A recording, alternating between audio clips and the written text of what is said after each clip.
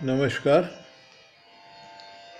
ये गज़ल जो मैं आज प्रस्तुत कर रहा हूँ, ये पद्मश्री निदा फाजली जी की है और इस गज़ल में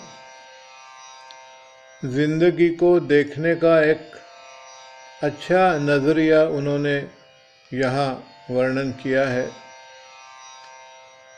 और इसमें जो बातें उन्होंने बताई है, वो काफ़ी रियलिस्टिक और प्रैक्टिकल विजडम की है। वो कहते हैं कि ज़िंदगी में म्यूचुअल एडजस्टमेंट होना चाहिए।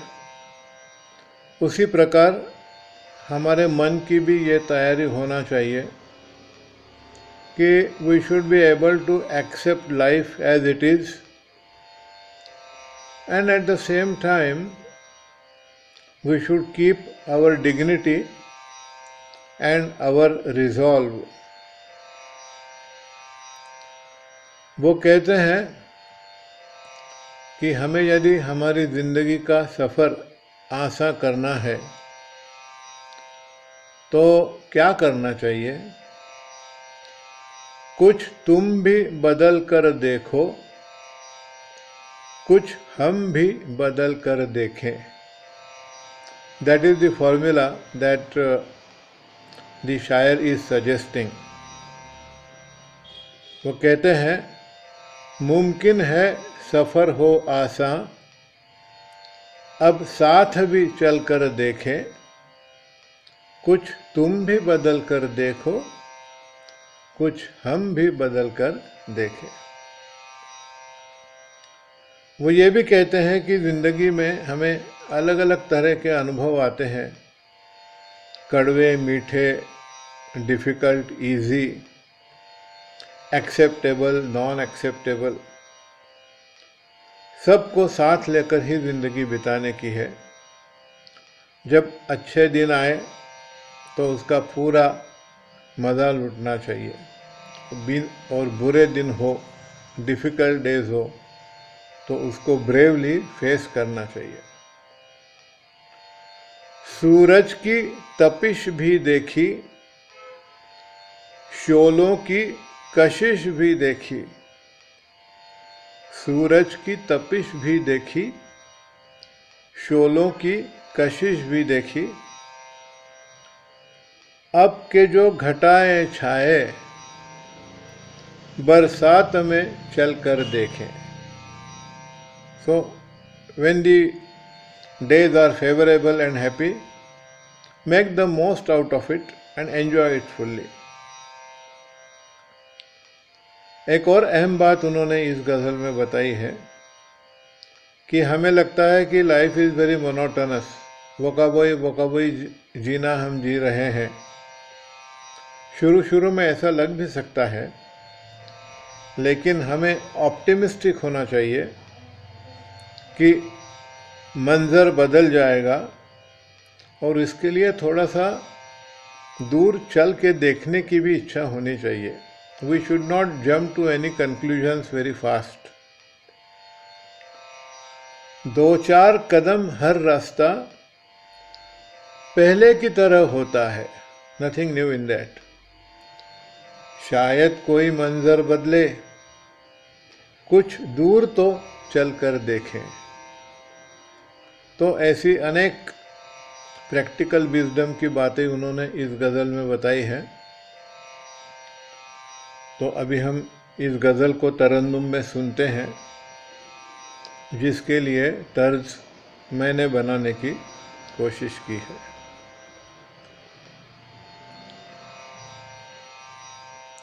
अरे नाना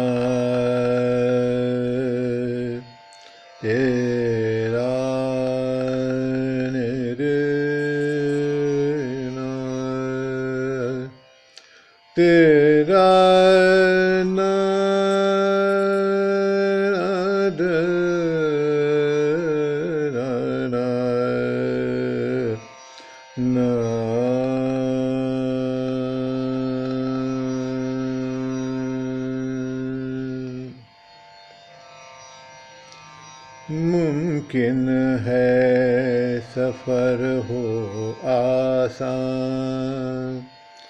मुमकिन है सफ़र हो आसान। अब साथ भी चल कर देखे। मुमकिन है सफ़र हो आसान। अब साथ भी चल कर देखे, कुछ तुम भी बदल कर देखो, कुछ तुम भी बदल कर देखो, कुछ हम भी बदल कर देखे। मुमकिन है सफ़र हो आसान मुमकिन है सफ़र हो आसान। अब साथ भी चल कर देखे, कुछ तुम भी बदल कर देखो, कुछ हम भी बदल कर देखे। मुमकिन है सफ़र हो आसान। सूरज की तपिश भी देखी, शोलों की कशिश भी देखी, सूरज की तपिश भी देखी, शोलों की कशिश भी देखी। अब के जो घटाए छाए, बरसात में चल कर देखे। मुमकिन है सफ़र हो आसान, अब साथ भी चल कर देखे। कुछ तुम भी बदल कर देखो, कुछ हम भी बदल कर देखे। मुमकिन है सफ़र हो आसान। दो चार कदम हर रास्ता, पहले की तरह लगता है। दो चार कदम हर रास्ता, पहले की तरह लगता है।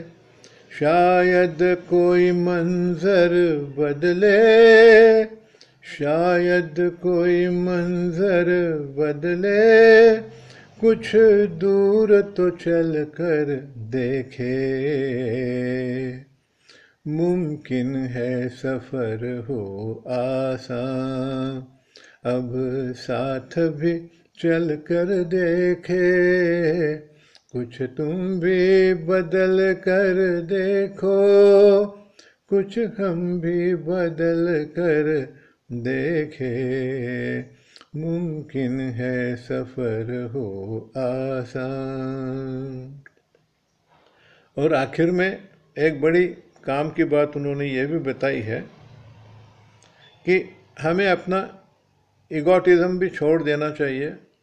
हमको ही सब कुछ मालूम है, हम ही हमेशा करेक्ट हैं। ये समझने की कोई ज़रूरत नहीं है।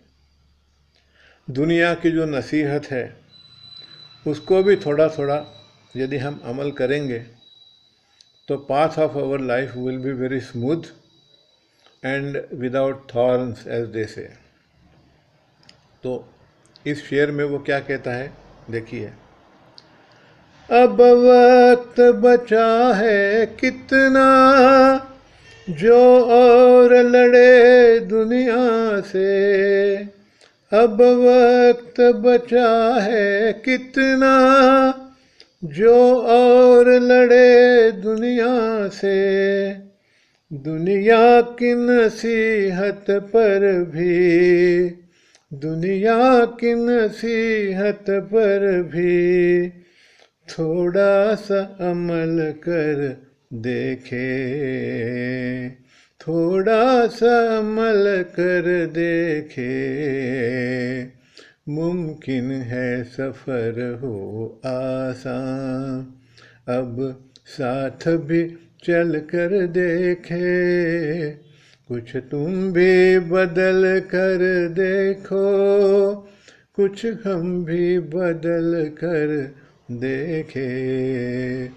मुमकिन है सफ़र हो आसान मुमकिन है सफ़र हो आसान मुमकिन है सफ़र हो आसान जाते जाते एक बहुत मज़ेदार बात आपको इस गज़ल के बारे में मुझे बतानी है।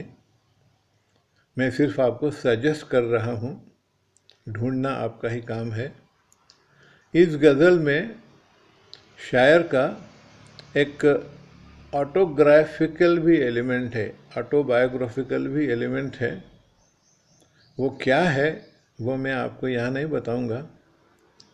मैं आपको सिर्फ़ इतना सजेस्ट करता हूँ कि यूट्यूब पे एक वीडियो है, उसकी टाइटल है my story Malti Joshi Fazli part two आप उस वीडियो को ज़रूर देखिए।